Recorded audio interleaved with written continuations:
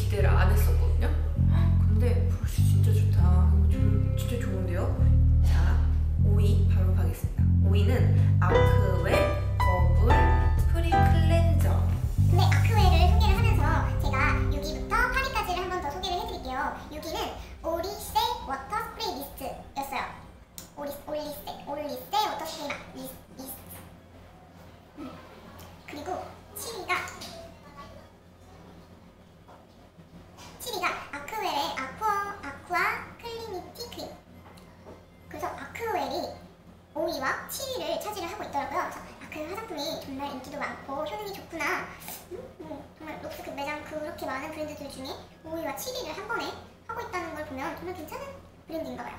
오늘은 제품 리스트만 좀 소개를 해드리는 걸로 하고 다음 원브랜드 장수템은 제가 꼼꼼하게 리뷰를 하는 걸로 하겠습니다. 뭐야? 이렇게 열면은 오! 그냥 어, 나 내가 생각했던 느낌이 아닌데? 일단 민감한 피부를 가지고 있는 분들이 사용하기 좋은 약간 거품 없는 클렌저래요. 그냥 이렇게 씻는 건가 봐요. 거품이 안 생기네 진짜. 음 동의보감의 처방을 바탕으로? 이건 진짜 특이하다 독특하다. 오 신기하다. 일단 물기가 없는 상태의 얼굴에 얘를 이렇게 해서 펌핑을 세 번 해서 먼저 마사지를 해서 클렌징을 합니다. 그냥 물기 없는 상태에서 사용해도 되고 물기가 있는 상태에서 폼 클렌징처럼 사용해도 된다는 얘기인 것 같아요. 악산성 제품이라고 해서 아마 제가 생각했을 때는 여자들 생리 준비 때 이제, 음, pH 지수를 정말 잘 맞춰서 화장품을 사용하셔야 되잖아요. 그럴 때 사용해도 좋은 제품이지 않을까 생각이 돼요. 음, 기대가 됐네요. 기대가 됩니다. 오늘 이렇게 1위부터 5위까지 롭스의 장수템 리스트를 공개해 드렸는데요. 앞으로 one 브랜드 장수템 리스트를 하나씩 공개해 보도록 할 테니까요. 음, 쇼핑하실 때 조금 더 참고하시면 좋을 것 같아요. 다음 one 브랜드는 음, 두구두구두구두구 바로 미샤입니다. 어, 확정은 아니고 미샤를 해보면 어떨까 이렇게 생각을 하고 있어요. 댓글로 여러분들이 궁금한 one 브랜드 리스트, 장수템 리스트 궁금한 브랜드가 있으면 적어주시고요. 음, 미샤가 궁금하시면 미샤를 지지하는 댓글도 나- 남겨주시면 좋을 것 같아요. 제가 상황을 봐서 미샤 장수템 리스트를 또 이렇게 구매해서 보여드리도록 할게요. 저 그리고 뿌리 염색했어요.